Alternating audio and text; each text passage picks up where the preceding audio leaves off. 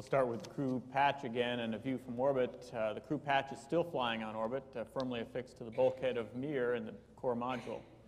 Uh, meanwhile, uh, before dawn, the uh, vehicle was prepped on the pad. We actually woke up uh, before midnight. Launch morning for us was actually launch afternoon as we were already operating on Moscow time. We'd had a significant sleep shift. Here, getting into the suits after the morning or afternoon for us weather brief, we had a chance to take a look at uh, the, what the TAL weather was, what the forecast for the Cape was. Uh, Chris had already been through his suit pressure checks. He was obviously ready to go. Uh, Jerry's always ready, and uh, we had just got back from uh, weather, uh, weather briefs and checks. Bill also had already completed all that work, and we had a little bit of a chance to relax in the chairs there before it was time to come out. Well, here we are coming out of the ONC, and one of the most pleasant surprises, in addition to some of the media that was there to take our picture, was to see some of the same faces I see here today enjoying this briefing. They were there to greet us and to give us a bon voyage on our way. So thanks for the, our training team and the rest of the people who traveled down there to say goodbye. We saw a beautiful sunrise over the Atlantic Ocean, and then we got to go from launch from LCC. Kim waved uh, goodbye at two minutes prior to launch, and at six seconds prior, the main engines cranked up.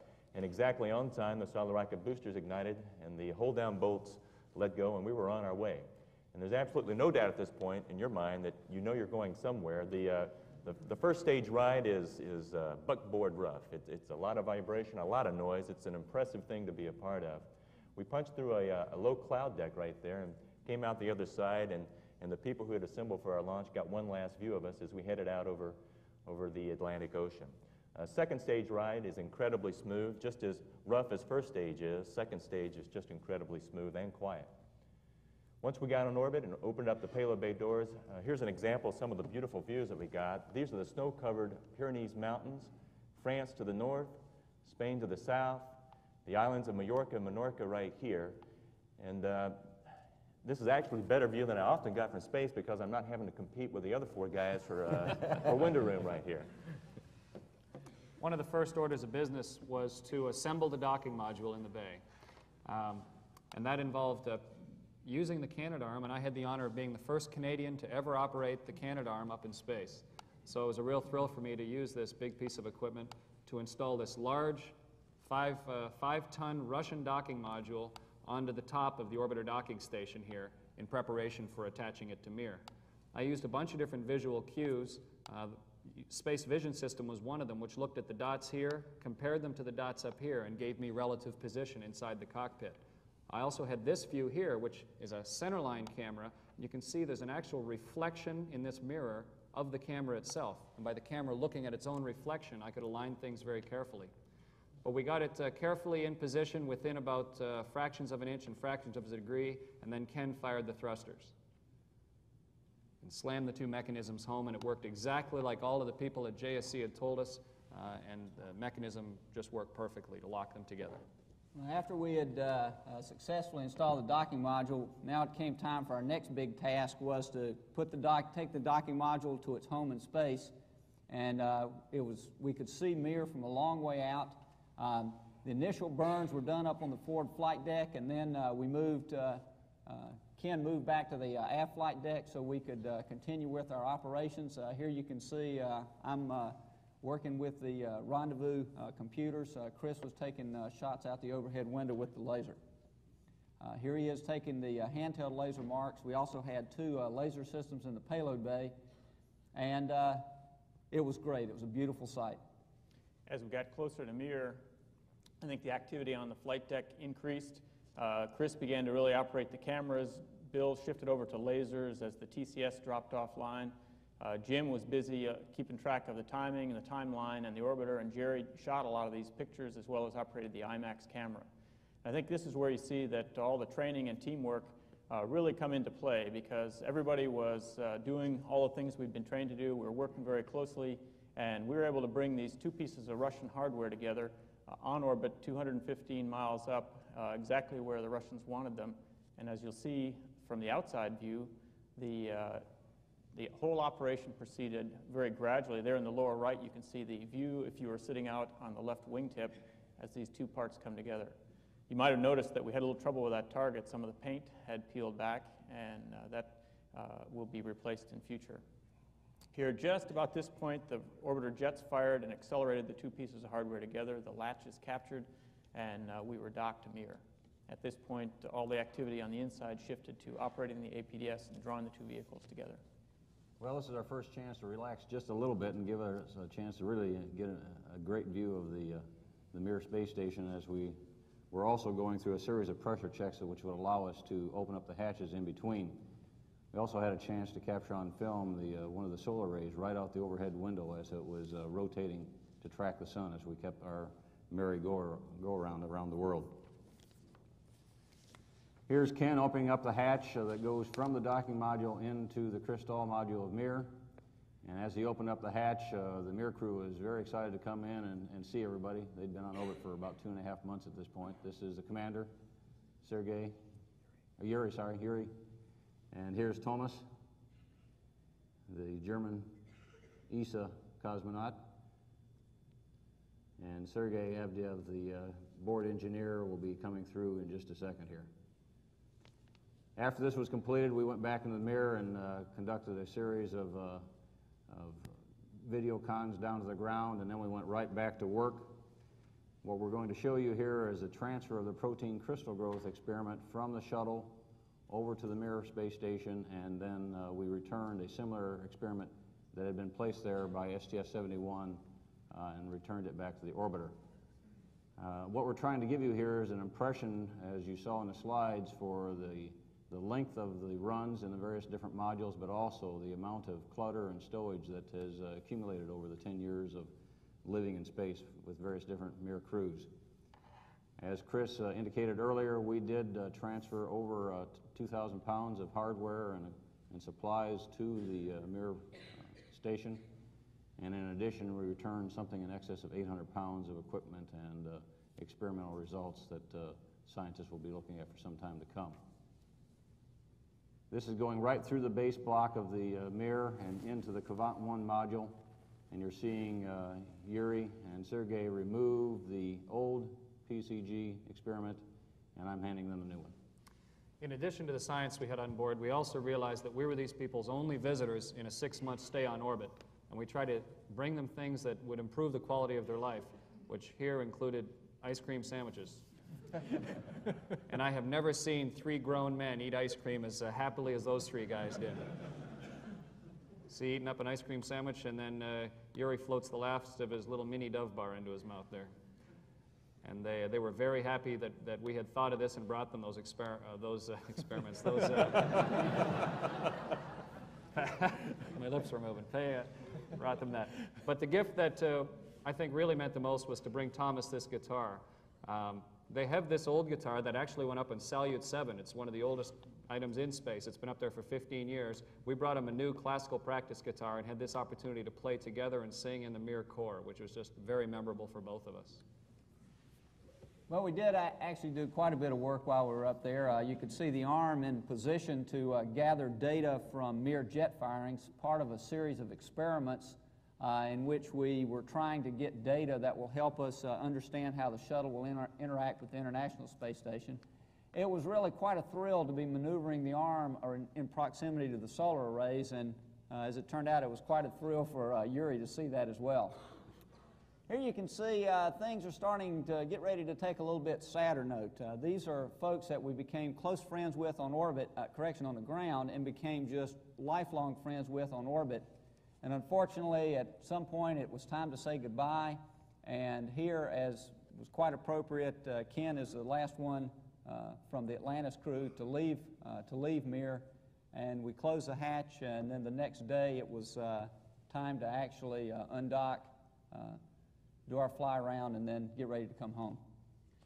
Actually, uh, before we undocked, we did have one last opportunity to wave goodbye. From our overhead windows, we could see the uh, one uh, or several of the windows of Mir, and here we are waving uh, a final goodbye to our to our compatriots up there. And then the, uh, it was time to actually do the undocking. With Ken at the controls, we released the hooks that were holding us in place, and springs pushed us away. Ken fired the jets right about here to get about a 0.2 uh, foot per second opening rate. Then from there, orbital mechanics accelerated our, our, our, our rate of separation from Mir. There's a good picture of the thing that we got the privilege to add to Mir, the docking module. we had these pictures taken by the Mir crew as we uh, continued to move away. We moved out to a range of about 500, 525 feet from Mir. As we uh, moved to that distance, Mir rotated back to uh, its solar inertial attitude that would put its uh, solar, solar panels in the most advantageous orientation to the sun. Ken was generous enough to relinquish the, the controls for a period of time during the fly around to let me get the opportunity to experience uh, for the first time what it's like to fly the shuttle in space, and I really appreciated that. We flew two loops around Mir, two complete loops around Mir, and then Ken from the uh, forward compartment actually uh, did the separation burn uh, that finally separated us away from Mir. Well, the commander never let us forget that he was, in fact, a Marine colonel. And he was always up at the crack of dawn, in fact, before many times. And here he is shaving, and he's uh, already racked the rest of the crew out of their bunks and getting us ready to uh, start on another busy day of activities on orbit. You can see uh, Chris and uh, Jim shaving, and uh, Jim was one of these guys that did a lot of parallel ops. He's also brushing his teeth at the same time. Uh, Jim's still brushing his teeth, and now, and now Bill got into the act, and you see uh, Chris in the background there. He's reading his electronic mail. Well, Ken, as I said, was uh, always uh, anxious to make sure that his troops stayed in good shape. Uh, it's kind of like a Marine drill sergeant, and here's Chris getting in some morning exercise. And uh, I was uh, more into doing laps, so here I am getting some laps in on the middeck before the busy day's activities start.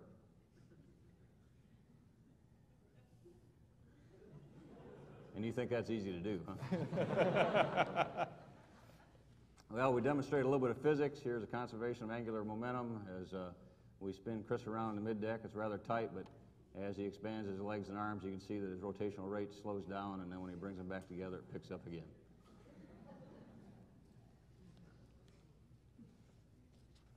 Chris had told you during the slides that uh, seeing sunrises and sunsets is one of our favorite things on orbit, and uh, this, this video gives you a good feeling for how rapidly a sunset, in this case, occurs.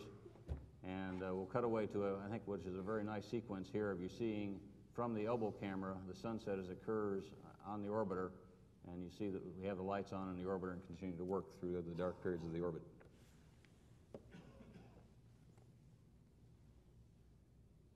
Uh, we still had some secondary payloads and science to conduct prior to coming home. You can see we have a yaw rate. This is looking out the aft windows at a nighttime view of the horizon. You're going to see the rockets, the, uh, the primary RCS jets fire as Ken commands the orbiter to stop that yaw rate. And the, uh, as impressive as it is here, the oohs and ahs coming from the MSs at the aft flight deck looking out the window at this, uh, they were impressive, impressed also. Uh, shortly thereafter, it was time to do the flight control system check in order to get ready to come home. Here you see Ken uh, and myself and Jerry also going through that uh, fairly long procedure to make sure that all the APUs, the flight control systems, and the computers are ready to support entry. Here you'll see the hydraulically powered Elevons going through one of their test sequences. And uh, shortly thereafter, uh, actually the next day, it was time to come home. As the orbiter re-enters the Earth's atmosphere, we experience temperatures on the outside of up to about 2,800 degrees, and that ionizes the atmosphere and leaves a contrail behind us that any jet would be proud to lay down. Here's a picture of that contrail going back behind us, and if you, I think you could really see it for about a thousand miles behind us. You can see the glow behind Ken, and here's Jerry demonstrating that yes, we are starting to re-enter the Earth's gravitational field. Uh, out my window was the most spectacular view. We had to pull our flight track about 600 miles south, so we were banked to the right, and that gave me the prime window real estate. And this is from about 235,000 feet, about 50 miles in altitude, uh, going over the Canadian Cascades and Rockies, and that gives you a real feel for just the sensation of speed that you get at this point in the entry. Well, Jim was doing a lot more than giving us a travel log across that high altitude scorching path uh, down across the northern United States. But here, the whole crew on the flight deck, and I know the training team often wondered what we were doing up there in the motion base. And uh, this is how it looked. We were uh, busy monitoring the uh, displays, watching the orbiter, keeping track of uh, all of the systems as we headed down, uh, getting set up for the uh, intercept of the HAC. Here, out the right-hand window, you can see some familiar territory, the vehicle assembly building, as we lined up for the final approach onto runway 33. It was cloudy that day. In fact, we logged an instrument approach on this one. Uh, we penetrated an overcast. And uh, here, as we come down about uh, 2,000 feet, the pre-flare was initiated, and here the landing gear uh, Jim lowered at 300 feet as we lined up uh, on 3-3. It was a good day for flying and soaring, as you could see from that uh, little clip of the Eagle. Slight crosswind, but we had overall good conditions. The lighting was just about perfect. We touched down and then uh, rolled out on 3-3. Here we're using the aerodynamic braking and then the uh, drag chute, which has been a recent addition, but a real uh, brake saver, as uh, we used very little braking coming down the runway and uh, decelerating on the center line. This particular view on the next shot gives you a little bit of an idea how nice it was to bring uh, Atlantis back home. You can see as we rolled out, bringing it to a stop towards the end of the runway, that the uh, launch pad behind us was sort of indicative of all of the phases of shuttle operations as uh, we launched from the background on a, on a morning uh, about a week ago and bring the vehicle back uh, ready to be towed off and processed for another one. I think very close to the end there, you can see what I have to admit was a sigh of relief as the uh, wheels were stopped and then a chance to uh, thank and congratulate all the crew there on the flight deck. Here we are at the start of the mission, and uh, special thanks for the uh, last minute fix to the uh,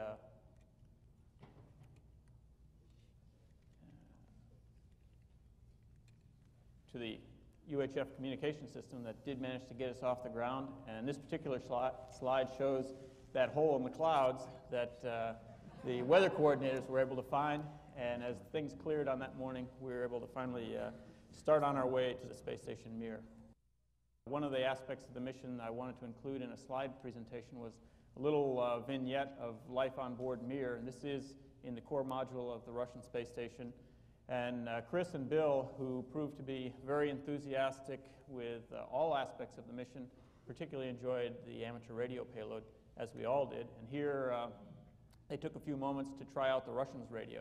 And I think that uh, part of the international aspect of the mission was uh, highlighted when uh, the Mir Atlantis complex was flying over Canada and a Canadian was on a Russian radio talking to uh, folks at home. And uh, Bill uh, and Chris took turns on that radio. I think it was a little difficult to decide who was going to get to talk next, but uh, we all were very enthusiastic during that all, whole period. But this, I thought, showed a lot of what was uh, this joint venture was all about. One other aspect of the mission that uh, is worth mentioning is also characterized by this particular photo. We had another one that was difficult to get all of us in the photo since the photography was difficult. But what you see here are representatives of Russia, uh, Germany, or the European Space Agency, the uh, NASA, and the Canadian Space Agency, all participants in a uh, combined space flight. Behind us is the United Nations flag. With it uh, is the US, Russian, ESA, and Canadian flags, somewhat obscured. And we're holding the uh, copies of the uh, United Nations Space Treaty and also of great interest to astronauts uh, and cosmonauts is the uh, uh, part of that treaty that deals with the aid and help to space travelers uh, in the event of any uh, landings in unforeseen uh, locations. So we flew the UN flag and those um, scrolls to commemorate the 50th anniversary of the United Nations. Uh, the Secretary General of the UN, Mr. Boutros Boutros Ghali, uh, called at that time and spoke to us. Uh, in fact, the flag was launched aboard Soyuz, was flown aboard the Mir Atlantis complex, and returned to Earth on Atlantis. And we're all looking forward to seeing our Mir crewmates again in April when we return to uh, the United, United Nations headquarters to return these articles uh, to their rightful home. The uh, picture here is a crew photo, uh, and it's a uh, rather unique one, I think, in that it was taken with the help of uh, our uh, Mir crewmates. And in the uh, overhead windows there, you can see five uh, smiling faces, and that was all of us taking a look at our home and take with a snapshot from the Russian space station. And this was the, the kind of spirit that was present all the time in Atlantis. We were all, uh, during the rendezvous, during the undocking, everybody wanted to be up in those windows.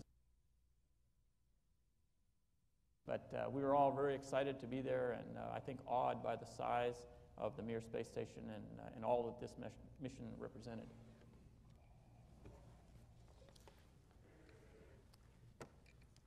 It's difficult to see from the side. of the slides in focus? Okay, thank you. While docked with Mir, we had uh, a pretty full plate of tasks to do. Uh, a lot of transfer. We transferred about a ton of gear across, 2,000 pounds, including the water and all of the items. And one of the items that we, or two of the items we had to transfer were these uh, large blue boxes, uh, TEF, which is thermoelectric freezers. And that's uh, Thomas Reiter, the German cosmonaut, holding them. And he's inside Spektr, uh, which was launched earlier this year. So that's how it looks now up in orbit. And not only is Spektr the laboratory that Thomas does most of his work in, but it's also uh, where he sleeps and lives. He's got his bedroll laid out on the floor of Spektr. And he was pretty happy uh, to see the docking module dock. I think he was eyeing that as his potential berth from now on. we brought these TEF lids up uh, as a new design. So uh, Jerry went through and changed those out with Thomas's help on board. All in all, we were planning to transfer about a thousand pounds of water, and uh, there's a bit of an incompatibility between the two space vehicles. On the shuttle, of course, we purify or, or keep our water clean with an iodine uh, content, and on Mir they use silver biocide. And the silver and the iodine aren't compatible. So we needed to remove the iodine from our water and then inject silver biocide into it so that they could store it and use it on board Mir.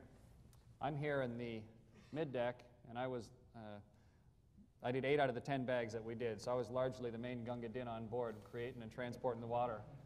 Um, you can see in my left hand is the hose that comes from the galley that's pumping our iodinated water, and then it goes through that long silver uh, deiodinating uh, filter. And then, if you look carefully, right in the middle of the bag, there's actually a, uh, a syringe where I could inject the silver biocide. But apart from all the transfer, this was a real opportunity for the Mir crew, who had been there since early September, about two and a half months, to come over to a new place. They've been inside the same walls for two and a half months, and they got, took every opportunity they could to come over into the shuttle, not only to see another spaceship or to see Earth from a new vantage point, but they could look out the windows and see their own home in a really unique uh, point of view. And they spent a lot of time here on the aft flight deck of the shuttle uh, looking out at the new docking module and looking up at their home in space. This next slide has no people in there, and that's because we'd like to talk a couple of minutes about, about Mir itself. Um, this is a representative sample of, of one of the modules. You'll, you can see that the, uh, at any given point the walls are kind of close to you, but it, the length and the total volume of Mir is quite impressive. When we first got on board Mir, we found uh, that there were no odors to speak of. The air smelled fine, telling us that their air revitalization system was working just great. You'll notice that there's no particulate matter floating around. That, that means their filter system is working just fine. Uh, the temperatures we found comfortable, and uh, the noise level, we, uh, Chris did a lot of tests of the noise level on board Mir and found that their noise level was roughly compatible with what we had to, uh, to deal with on the shuttle. Uh, the one thing that all of us recognize right away, and especially the people here from crew equipment and stowage, is to all of us, it looks like somebody just threw a hand grenade in here. But that represents the, the different philosophies that the Russians use as opposed to the Americans, and it has to do with our short duration missions versus their very long duration missions. Their stowage plan consists of their people being up there for months at a time, and they know exactly where everything is. If you look closely at this picture, despite the apparent disarray, you'll notice that nothing is floating around. Everything is either tied off or tethered off or bungeed off. And uh, at no time during the flight were, uh, were Thomas or Sergei or Yuri unable to find something when we asked for it. They knew exactly where everything was. So there really is a plan and a rhyme and a reason here, even though, and, and it's going to be a, a, difficult challenge for us to merge our two different philosophies, and this is just one example of that difficulty. This is a very uh, special picture for all of us, and we wanted to end the onboard section of our slides on Mir with this slide. This is a picture of, uh, of Sergei just a couple of hours prior to the final hatch closing, when we would have to go to our vehicle and close the hatch, and we would uh, undock the very next morning. He's writing a letter to his wife, and he's doing it in his little, his little enclave. This is an area that he uh, claimed as his own, and the other Mir cosmonauts uh, respected that claim. He's got some pictures of his family and uh, some religious icons that were important to him on the walls there. He's got his window, and he sleeps in this particular area also in the evenings. Um, he stole away for uh, about an hour to write a, a, letter to his wife, and then just shortly after this picture was taken, he folded the letter up and stuck it in a packet of material that we were honored to bring down. And I'm sure I speak for all the crew and probably all for, of you when I say that there's probably never been any more important airmail ever delivered by an aerospace vehicle than the letter that you see him writing here. It's important for us to keep in mind that he and the rest of his crewmates are still up there and they will be for another three months, and they're doing important and sometimes difficult work. And whatever degree we can help them out on that, that's what the joint program is all about. We'd like to shift gears now and go to what we were able to see from space, some of, the, of our Earth observation photos. I'm sure many of you will recognize this photo right away as New Orleans. It's a place that many of you have had a weekend trip to. This is a picture of Atlanta, another southern town, and uh, what's most apparent in this picture is the Hartsfield Airport right here. And uh, you can see the downtown area of Atlanta right here in this region. Uh, I-20, the same uh, uh, highway that goes across much of the south, you can say, see goes right through the center of town and takes a little jink here and then continues on eastbound. If you hadn't uh, realized by now, there was uh, significant Canadian involvement in this mission. And, uh, and what was particularly nice was with our inclination at uh, 51.7 degrees, uh, we actually got to see a good bit of at least the southern part of Canada. And uh, needless to say, most of Canada looked like this. It is indeed uh, winter up there, and it's a tad different than our winters. This is, the, uh, this is uh, James Bay. It's the southern end of the Hudson Bay. Um, here you have the Moose River kind of going into uh, uh, James Bay, and there's some interesting uh, linear features you'll notice that tend to sort of parallel the, uh, the, the coastline here. As we're all aware, this was a, an area that uh, experienced significant glaciation in, the, in the world's ge geological history. And as the glaciers receded and the land essentially became lighter, there was a lot of uh, uplifting uh, of the land. And so, in fact, the shores of James Bay uh, have receded over the years, or more accurately, we can say the old shores have risen, uh, resulting in new shores.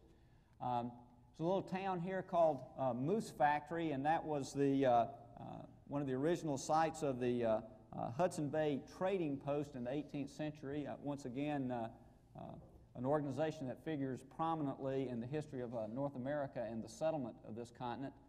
and then just a little bit, actually just across the river is uh, Moosonee. And then we have Hannah Bay down here and Rupert Bay. Here's Charlton Island. Once again, the, our uh, meteorologists uh, are real interested in this because we can see a lot of processes occurring around Charlton Island, ice forming out here. Then you can also see evidence of this dry southerly wind coming up over the water and starting to pick up moisture as evidenced by these clouds. Now, I always like to ask kindergartners, is this picture upside down or right side up? And it, of course, it depends on your point of view, and in space, there is no right side up or upside down. But here's a very distinctive feature that I know uh, Ken is particularly fond of. And so uh, right here, if we go, uh, if we go right off, we can see uh, we can see Boston, and as we go back past Cape Cod, see Long Island down here, uh, New York City. Uh, my apologies to Mr. Abbey. West Point is located right behind the module here, and we sure enjoyed the game this weekend. And as he mentioned up on the stage, wait till next year, and, and I'm sure his alma mater is going to be ready to return the favor. Uh, we go on down, we get uh, uh, further down Delaware Bay and then the Chesapeake Bay, and we had some just really fantastic panoramic views uh, looking uh, down North America. We finally can see just a little bit of uh, the Outer Banks here, Cape Hatteras, and in some of our pictures, we could actually see all the way from New England down to the tip of Florida and Lake Okeechobee. We were real fortunate in this flight that um, we passed got some passes over Europe which were clear, which is uh, a pretty rare occurrence. Uh, and here we are right over the English Channel. Uh, this is the Isle of Wight. Uh, this is Portsmouth here.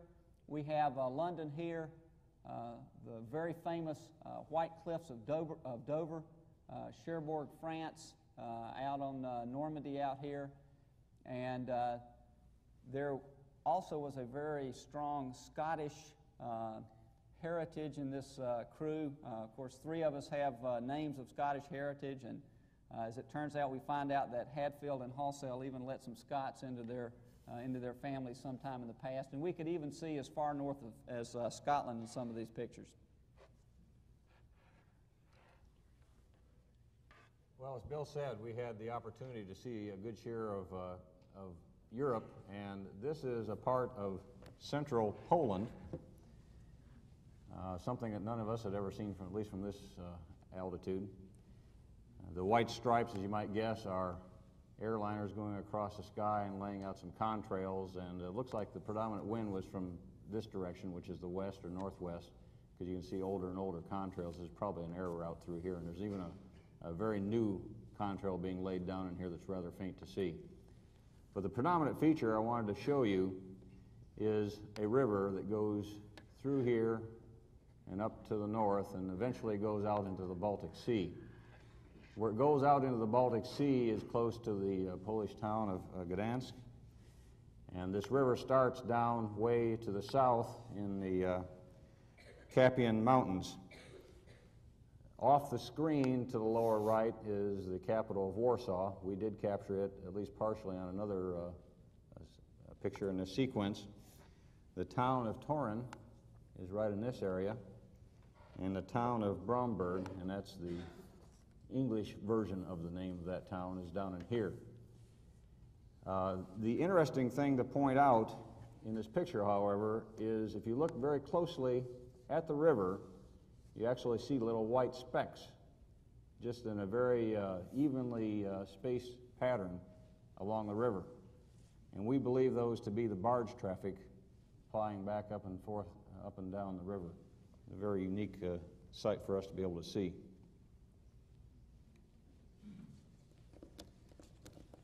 Well, uh, a little bit further off to the east now, we're into Turkey. And this is the mountainous lake, Lake Van. And right next to it is uh, Nemrut Lake. They gave me all these great names to try to pronounce. Uh, this lake is actually in the, uh, the cone of a volcano, and there's a whole series of volcanoes that go up to the east to uh, Mount Ararat, which is off of this view, and slice back down across to the southwest. Uh, these volcanoes are caused by the Saudi Arabian uh, subcontinent continental plate slamming up into, into the Europe continent. There is a town in the scene, believe it or not. It's right down here in this little bay. It's called uh, Tatvan. And let me see. Uh, I guess the other things to point out is that this region kind of separates two regions in Turkey the Armenian region to the north and uh, the Kurdistan region to the south.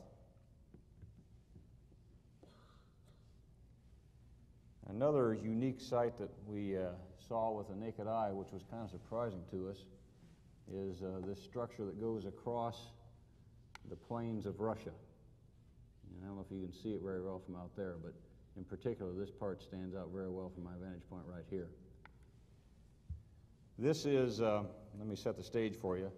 To the left over here would be the Volga River, about 60 miles away, and up in this direction would be the southern portion of the Ural Mountains. So that would be uh, putting uh, Kazakhstan just to the lower right region of this view, or maybe just off from it. Uh, the interesting thing that I'm pointing out here, however, is a, a windbreak or a shelter of some sort that has been established by the Russians, uh, we are assuming to uh, cut down uh, the soil erosion or things like that from the very strong winds that are predominant in this region.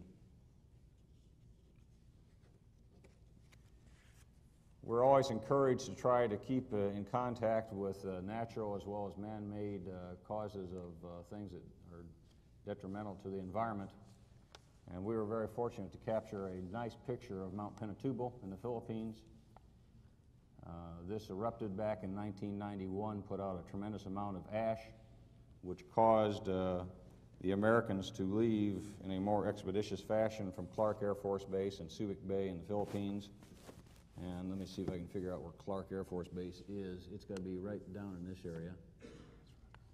And Subic Bay is, um, where is it? Over here somewhere. Up here. Is that it? It's kind of hard to see from here.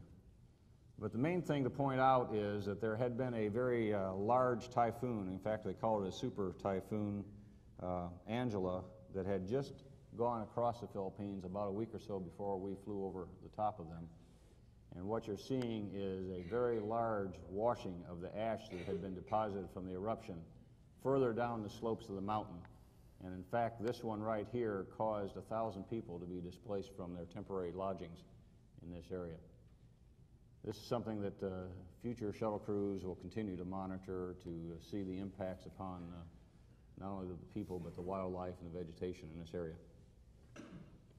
Just going to show you a couple more slides. I'm going to take a run down uh, the Rockies. Starting up in the north,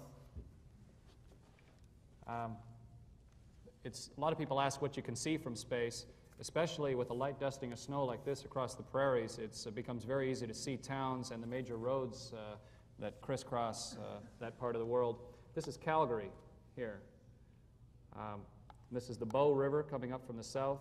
Down to the south is uh, Drumheller and all of the uh, tremendous uh, dinosaur finds that are being uh, excavated right now, dinosaur eggs and, and uh, in fact, infant nests of dinosaurs all to the south of Calgary.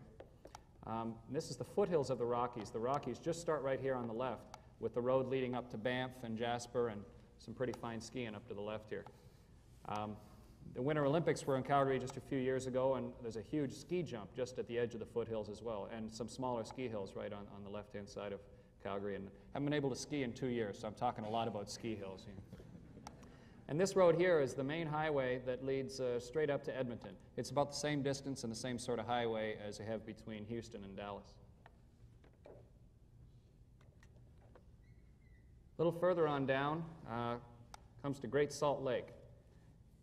And uh, it shows some man-made features really clearly. This uh, train bridge that cuts across Great Salt Lake has divided the waters of Great Salt Lake for several years, and so they end up with an entirely different color. It's very visible from space.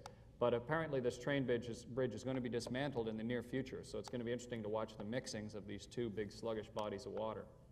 Uh, Salt Lake City is just down in the south here with the ring of mountains around it, uh, really dramatic setting. Up here are the Bonneville Salt Flats right there where all the land speed records have been set.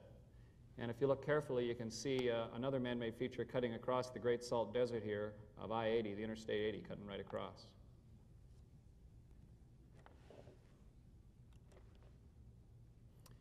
And coming a little further down, right on the border between the mountain and the plain, um, is Colorado. And right here is Denver. If you look, you can see the new airport uh, just opened recently outside of Denver.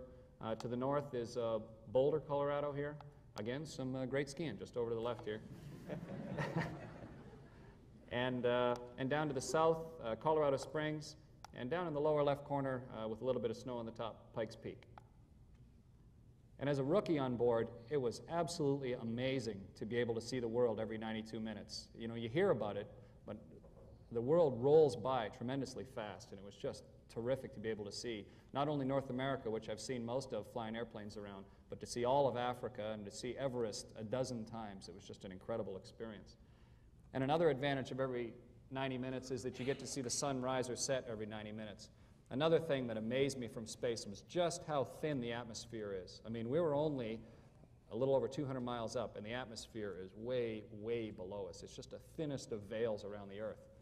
But looking through it, uh, highlighted by a sunrise or a sunset, you could see all the individual layers. And some days, uh, it would just be kind of a gradual fade of colors. And then some days like this one, you'd actually see distinct bands. And since we were our orbit was tipped quite an angle to the sun, the sunrises and sunsets lasted quite a while. So it was just a beautiful thing to watch.